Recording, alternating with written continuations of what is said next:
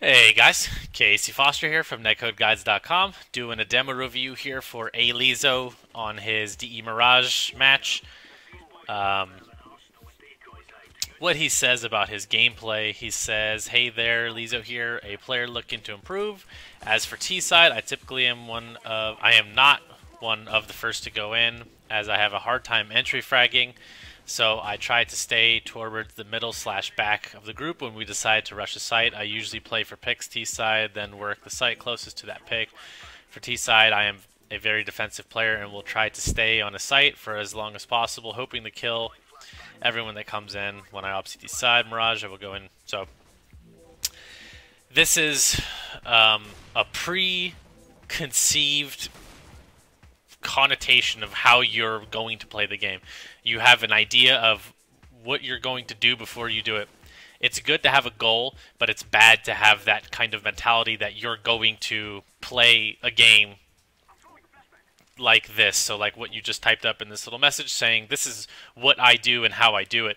Um, that doesn't really work too well in CS because everything is situational based with one thing happens, you can't just say that you're always going to do this. So like if A happens, you can't always say that B is going to happen or that you're going to do B. There's uh, thousands of different variations of something that can happen in the game. So I would like for you to like get rid of that mentality and just try to adapt to whatever's going on in the game.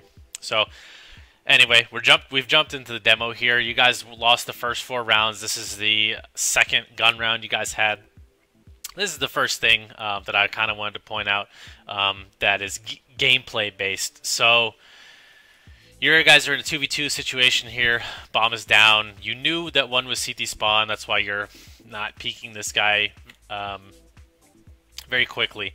And you have a smoke and a nade. So you smoke the bomb. Now this I can understand why you did this because you're like, oh, I want to go and grab the bomb in the smoke, but what happens is if you know there's somebody on the other side of the map and you throw a smoke that's close to you, what that does is that creates a wall between you and him. So you'll see you're going to throw the smoke and you're going to grab this bomb. So look at where the smoke is, like right next to you. Obviously, you're going to plant in the smoke, but what that does is that gives him a huge wall because you're now blocking off the part of the map where you could have been, and he's now going to push up on you. Um, we'll let this round play out real quick. Um, obviously, he's going to kill you in the back because he is able to push up on you and get all this information as to where you're at. So the right play in that kind of situation would have been, since there was so much time, I think there was like 50 seconds left in the round, um, was to just smoke off spawn or throw that smoke a little bit deeper, which is going to have to force him through that smoke to come and try and kill you, try and see if you're pl- actually planting the bomb or whatever. So like I said, 50 seconds left, that kind of situation, fake planting is great. You can fake plant, you can force them out of their spot because they're going to try and kill you while you're planting the bomb unless they're actually playing the plant or playing for a retake. But generally speaking, it kind of um, this kind of level of CS, they're going to try and kill you when the bomb is planted because, or planting because they're going to get a little excited. So you could have just thrown a little deeper smoke, fake planted, waited for a second. If he doesn't come through, fake plant again. You still have 40 seconds left. Um, you know, your ultimate goal is to try and kill one of these guys in this situation because they know the bomb is down, and you have they have to come to defuse the bomb and kill you or kill you. Um, so try that in another if you ever get into that kind of situation again but just have that mentality that you have you know you have so much time on your hands you have a piece of equipment use that to your advantage. All right and here we are on another gun round. And this is something you've actually been doing quite a bit and it should it should be kind of obvious but a lot of people don't really do it but anyway you guys are here on another gun round. Um, you know this guy is CT spawn so you know that there's 100% a guy CT spawn. So it's not, it shouldn't be any surprise to you that there's going to be a guy CT spawn when you go to throw this flash here. And he gets a good nade off on you, but easily could have killed you if he had was mediocre at the game.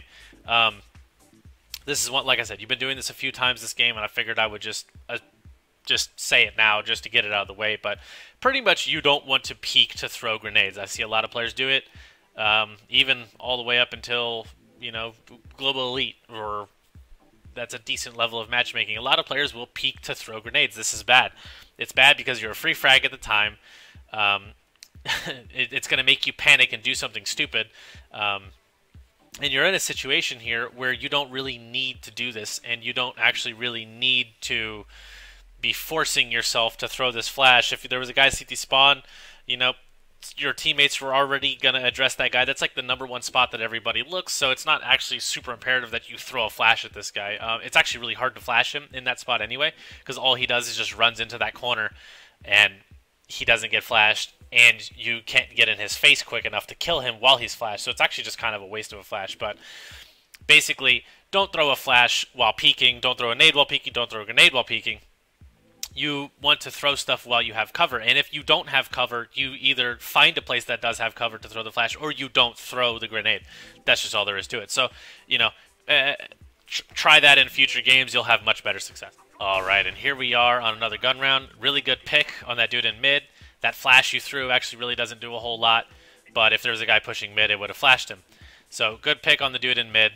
Um, you, I see you go and throw this smoke here on Cat, and you kind of just assume that it is blocking off Cat, and you get free fragged in the back pretty e easily. So that's just a small mistake that costed you a death and potentially the round not saying you would have won the round, but it, it potentially could have cost you the round if you would have got that kill on the dude in connector, and that, that, that dude was smoked off on cat. You would have been in a 2v2 at that kind of situation. So um, this just goes to show that knowing good smokes is super important. That's why we have a lot of smokes in Netcode Premium, a lot of flashes, a lot of Molotovs, a lot of grenades, because this game is so equipment based that knowing these smokes and flashes is going to help you dramatically. So if you would have known a better way to smoke that cat, obviously it's a really easy smoke to throw. Um, you just want to be running a little bit further um, whilst throwing it off of the B sign if that's what you want to do, or you could have just bounced it off the wall on the right and you could have blocked off cat.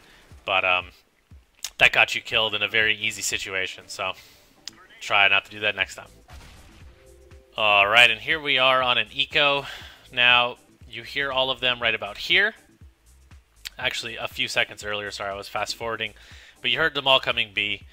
You're obviously on an eco round. It's very unlikely that you're going to win the round. They've rushed B. You're solo B by yourself.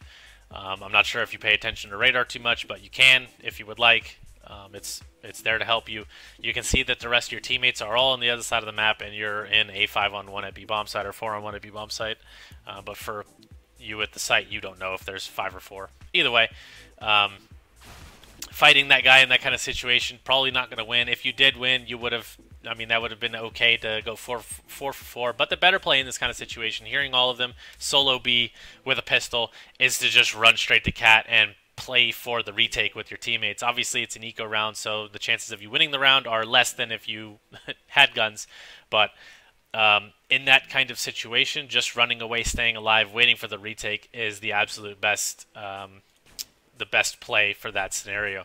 And like I said, it's an eco round. You're probably not going to win the round, but what you could do is you could mess up the team's economy by running the cat, making them play in the site, basically not allowing them to leave the site. If they try to leave the site, you get exits or you do some damage or whatever.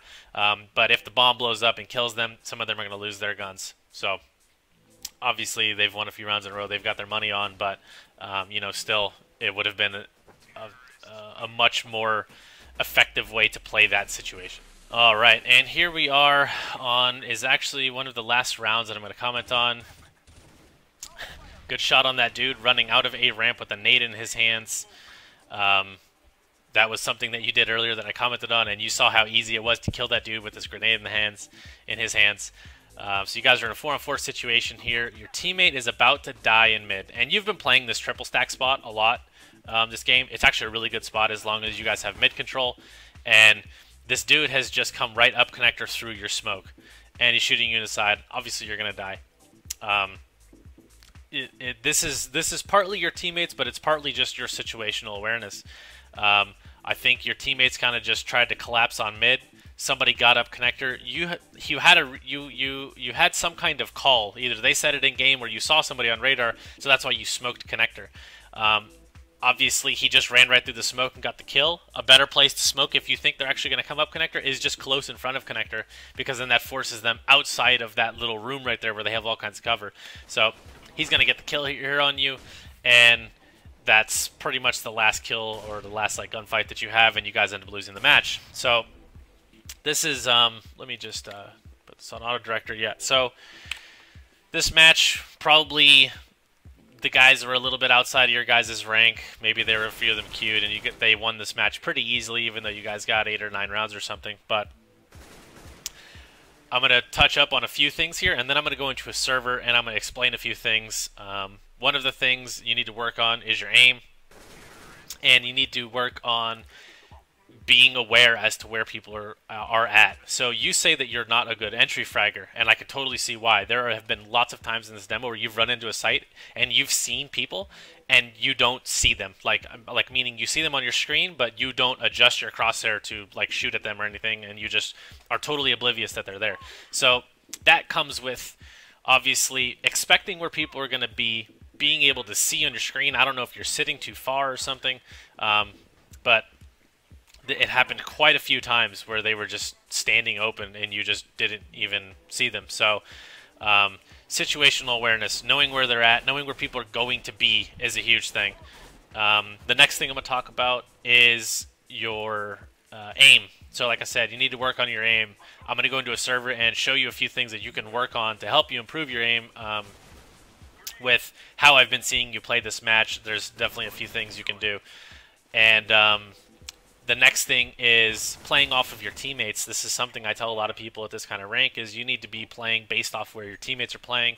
Um, so if your teammate is up close A ramp, you obviously don't need to be up close A ramp. You can be in a situation to play off of him and help complement his position and your position at the same time and, and increase your chances of winning that gunfight or winning that part of the map. So Stick around. I'm going to jump into server real quick, and we will get to the last part of this demo review.